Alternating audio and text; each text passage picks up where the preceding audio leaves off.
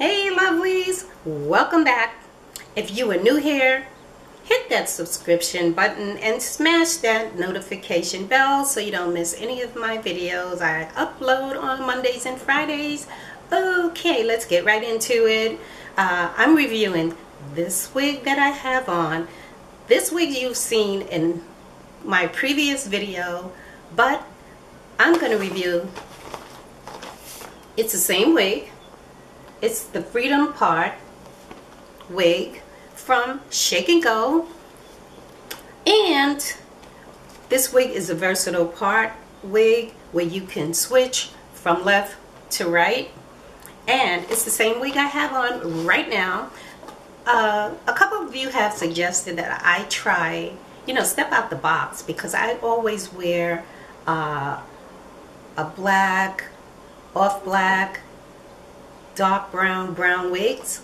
And in my previous video, I tried on a wine colored wig and I got a very, very, got some very nice compliments and asking me that, you know, why don't you try different color wigs?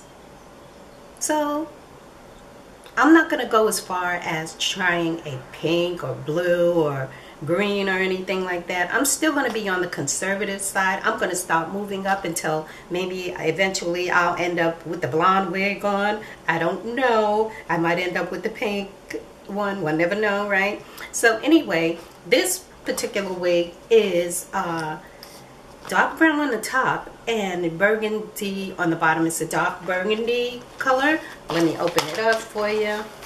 Show ya.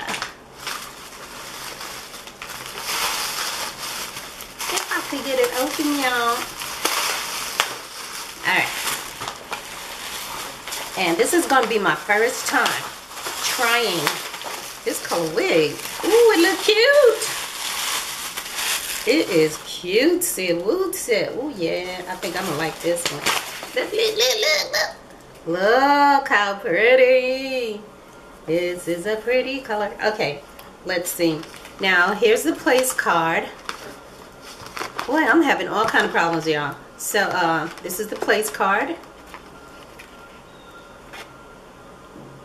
Okay, and it says here, hick hair instructions. Before washing hair, brush it out. Brush out all the tangles starting from the bottom and work your way up to the weft. For curly hair, do not brush. Blah, blah, blah, blah, blah. Fill the sink with water. We already know how to do, take care of the wig with uh, as far as washing. If you don't, I will leave some information in the link. It's pretty easy to just dunk this wig into some cool water. That's the way I do it anyway. And wash it with some cheap shampoo. Don't condition because this is a synthetic unit. Okay, so I am gonna, ooh, look at this girl. Oh, yes, yes, yes. I'm gonna put this on and I'm gonna be right back y'all.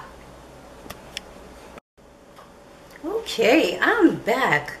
Look at this wig y'all. What do you think about the color? This is the dark brown and the burgundy. I think it looks really good. Oh my goodness I, you know I was afraid of color but I think this is a subtle kind of a color it's not too bright it's not any kind of pastel or weird looking color. It's just like, it's very nice. You can wear this every day.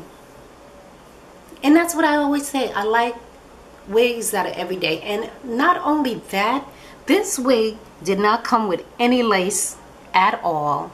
So you don't have to worry about cutting lace. The parting is pretty good. It's about four inches.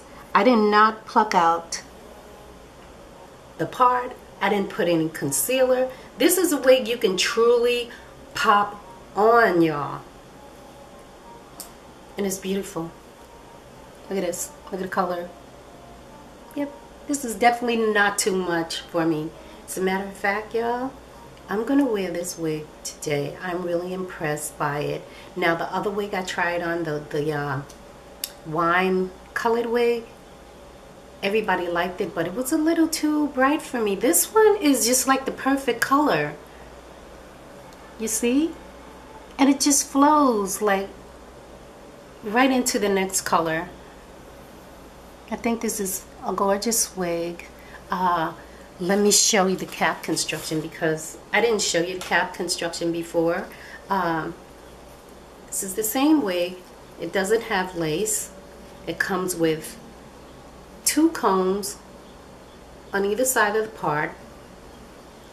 There is one more comb in the back and a strap to make it tighter. This is a big head friendly wig. I have a very small head so but I don't use any straps or combs. As a matter of fact I try to take the uh, combs out of the wig because I find that it catches onto my hair. You know if you don't have that problem that's fine. You can leave the combs in the wig but I prefer to not have any combs in my wigs.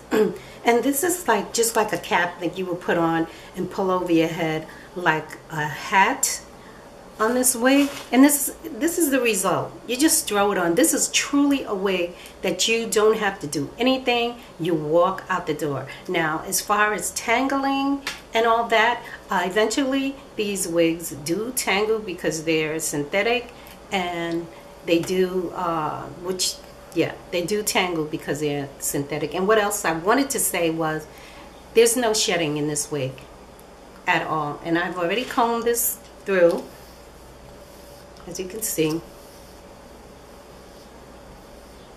This is a great wig for every day okay so I hope I covered everything with this wig. I think this wig is gorgeous. My eyelashes falling off y'all and this, these are the magnetic lashes that are in my previous video. If you want to watch that for these lashes I did a review on them. You'll see them appear in the link. But yes tell me what you think below about this unit. I think it's really cute and you know I always put the wig behind my ear like this. Okay this is gonna be my favorite everyday wig I always say that because when I discover that these wigs are so easy and so great to just pop on and go it's like a no-brainer